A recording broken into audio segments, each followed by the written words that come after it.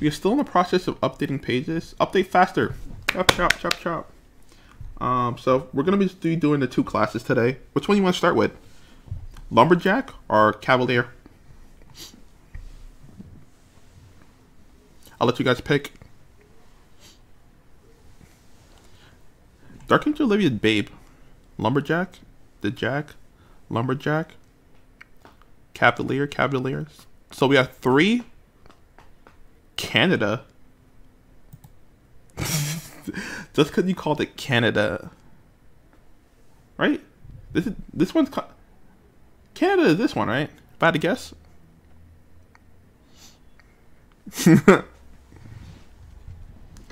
Anyways, okay.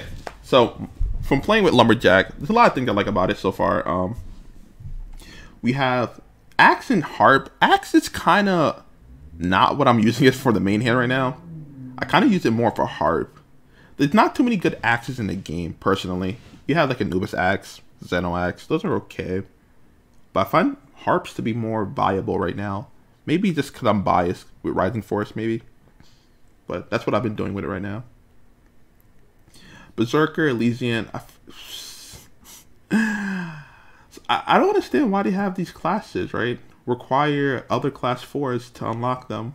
Are they supposed to be like a higher tier than class four? I don't. I, I never got that. You get skill damage, skill damage on the level ups, which is good actually because you do hit a lot of skills right with the um, skill one. All the nukes from it, it's pretty high. What's up, TM? Which is not bad. What, 30% skill damage and him healing? The healing is useful. Um, it does have a healing skill. We'll get more into the skills in a minute, but the healing is not bad. Uh, it the cap is low though. From what I've experienced, the cap is not as good as Sage, but it does more than just heal. Boost to main allies attack when. Oh, you get a uh, a boost to your main attack if you main an axe. So while the class is action harp, you get a higher stat if you run axe main hand. Unfortunately, I prefer running harp, but that's just me. Maybe because I play dark. So here we have Woodcutter's Song, which is the broken skill. Personally, the skill is ridiculous. In my opinion, it gives you a ton of random stuff happening. So every time you cast, up to three times. You get a proc. That generally is stackable, attack and defense down. Do we have numbers on it? On the um, stackable attack and attacking down? The, the, any numbers on that? On what it caps at? Is it 30, 40, 25?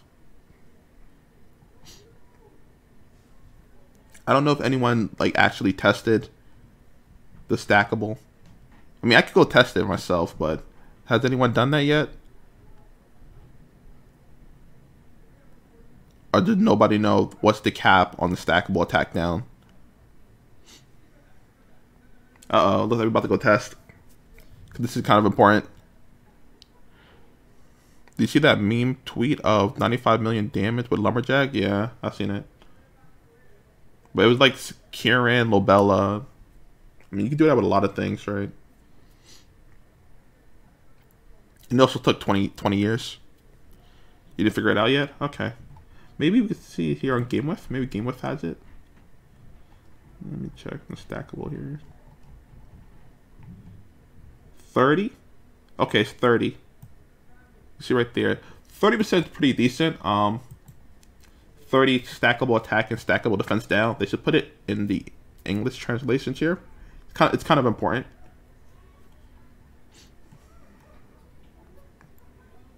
It replaces majority of units in the game besides like your Lily, your um, Lily, Lancelot, Urias, Tabina, Lecia. Units who have 40 don't get replaced by this, but they can technically. But it's it's really good. 30 is pretty good. And that's every time every third skill. It kind of reminds me of Lecia. Like if you remember Lecia has the same gimmick kind of. the grand one. Every time you activate three skills, the skill after will activate her um what what is it? The uh here it is. Dawn Sky Edge. She gets like a nuke. But it's pretty much that gimmick, but like on a grander scale because you get stackable attack and defense down, a nuke, and you have the rare chance of getting like a uh, CA damage up and CA damage cap up, which is pretty good. You also have the ability to get strength from Ogi, which is really, really massive. And if you're lucky, you can get bonus damage. So this class is very RNG based. How much bonus damage is it anyway? With the numbers, bro, I need the numbers on the bonus damage. It's like 15, I'm guessing, though. Bonus damage is 20%. That's right. God, I was like, I was like, read Japanese. It looks like bonus damage is 20. Yeah. Mysterious stands for Ogi. So the bonus damage is. Wait. Hmm.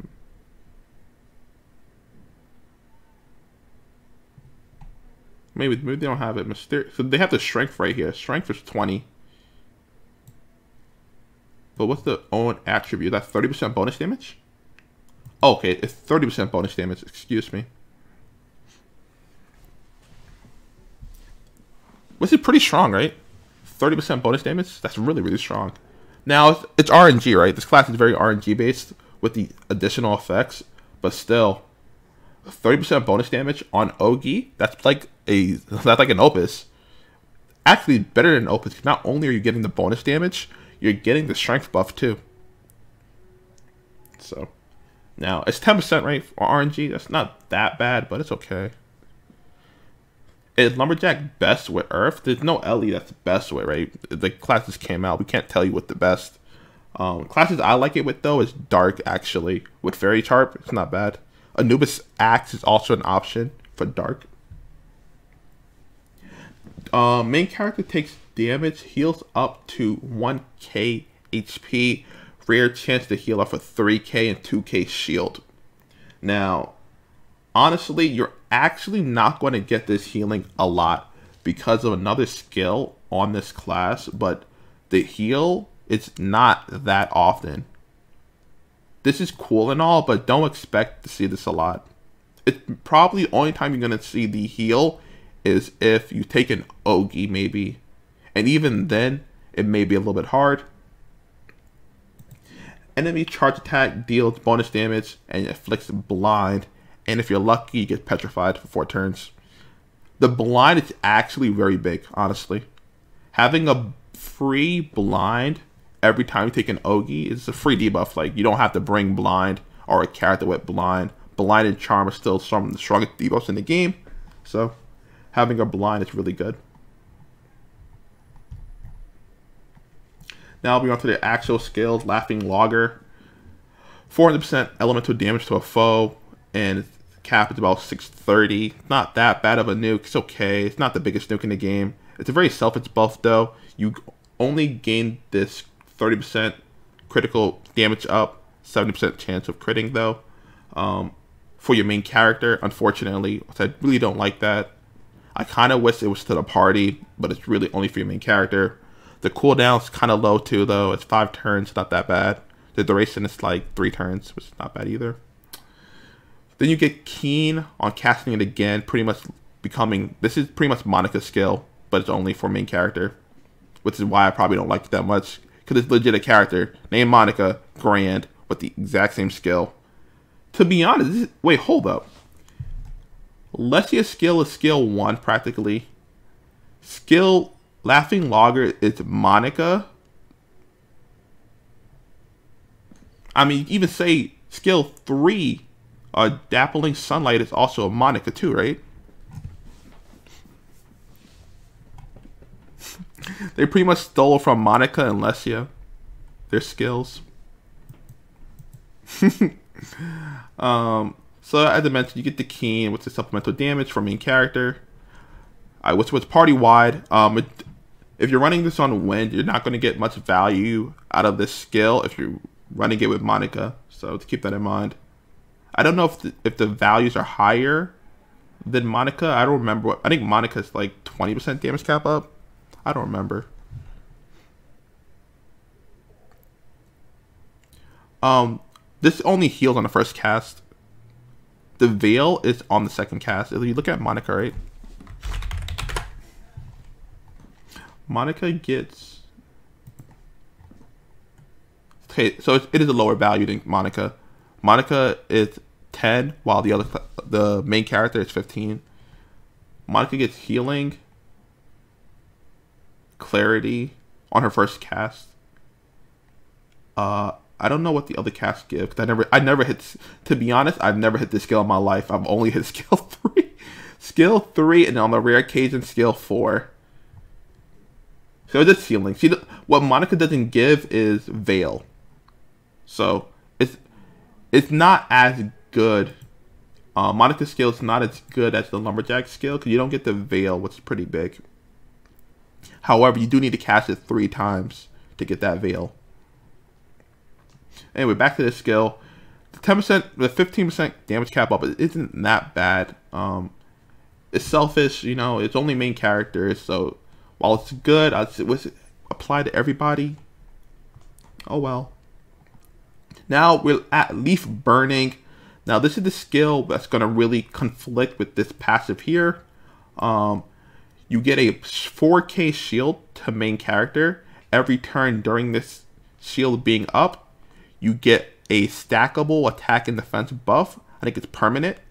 If I remember correctly, a permanent stackable attack and defense buff uplift at the end of each turn. That's pretty freaking good. Not gonna lie, it's pretty good. I used it in solo and it's pretty freaking good. While you're getting this stackable attack and defense buff, it's gonna make it harder for you to take damage and lose your shield. So I actually like this skill a ton. It's probably my favorite skill out of all three of them. Is leaf burning. Cause not only it's not only are you applying stackable attack and defense down, you're also getting it in the passive skill. So it's really, really good. And the uplift. The uplift is like free. Like um, it's extra on top of it, but it's really good. However, the one thing that's a problem with this skill it has a 10 turn cooldown. It's kind of long. 10 turns is from my experience, like you're going to only cast it one time in most content if you're running this class. Um, unless you're doing solo, this class is a pretty good class for solo in my opinion. So in solo, you get more value out of it. In normal like content, you're not going to get a ton out of it, but you can, you still use it though. Now we have Dappled Sunlight. Restores 10% of all allies HP. 1500 is the cap this skill is pretty good. Um, the cap is kind of low on the heal, as I mentioned earlier. It's not as good as Sage, but it's still pretty good because it comes with two other things on top of it. Not only is it the heal, but upon casting it again, you get Clarity. And then casting it a third time, you get Veil. And you keep getting all three buffs every time you cast it. So it's really, really good every what six turns you get a clarity, veil, and a heal in one button. Now that's generally going to be turn 12, so it's not that practical unless you're soloing. Not many con well not much content in the game goes to turn 12. So it's not really common. Most content generally lasts about five turns in this game. Five to six turns. Oh yeah, you can definitely solo the Fa with this class. Um, if you have a healer outside of main character, you can solo Fa with this, no problem. The class is pretty much built for soloing Fa. Uh, if you have a good healer, right? Like water can really use a lot, like use this class for soloing Fa high level. I think. Uh, it wouldn't be bad for water. Could they have Maria? So. The one thing it doesn't give though is like mirror image, but you can get mirror image for other weapons and stuff. But that's my thoughts on it so far. Lumberjack is pretty cool. I liked it. Um, the biggest thing to me is the stackable attack and defense down. I feel that's going to be great going forward in new content. because they are, you know, you know how GBF is, right? They are trying to remove mist as the main way of doing stack of attack and defense down. So having this as attack and defense stackable is really good. Not to mention the other like buffs you get, like the strength buff on Ogi is really massive too. However, some Ogis, like for example the Xeno Harp, the Water Xeno Harp, what is it called? I don't remember the name of it, but it's, uh, click the wrong name, dude. The Water Xeno Harp is not that great for this class because because it gives stamina on Ogi when you get it to the highest level. Wait, where's the highest level at? Here it is. So because it gives strength on the Ogi as well, it's kind of like mundane. It's redundant. So you, I wouldn't recommend using this as a main hand for water. You you run something else. But that's about it. Good class though.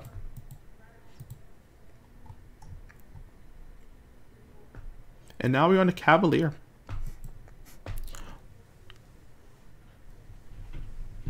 It's okay. It's just that the Ogi is like classic. Like you get the same buff, right? Lumberjack gives you that special strength buff, so you want to maximize it by using a different main hand.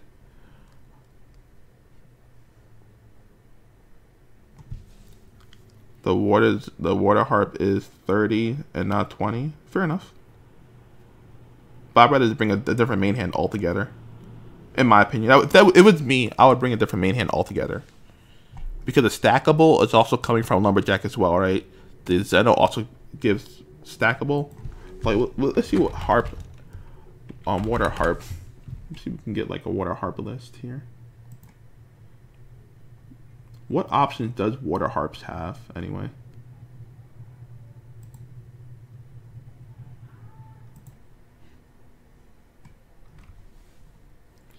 Uh, maybe I should go by Harp and then go by Ellie.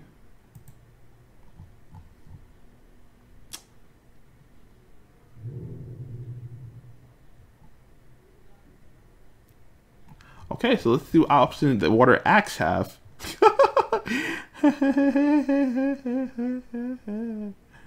that was a failure. Water Axe, huh?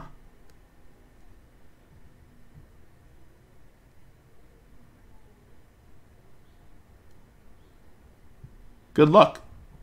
You ain't got no options. I guess you're gonna run that Xeno Harp. You have no other option. You have legit no other option. Everything else has a bad Ogi. You might as well just run the Xeno Harp. I'm just looking at these options. They're all like bad. They're all bad. Yeah, none of them are good. Yeah. The one thing about Lumberjack is that Lumberjack just doesn't have the best weapon, right? The fact that it had niche weapons in the game, being an axe and a harp, makes it kind of hard for the class to succeed because it just doesn't have good weapons right now. Maybe in the future, but some elites are going to get screwed over, right? Some elites are not going to have the best weapons for the class. But I think the class overall is still good, right? I think it's a good class.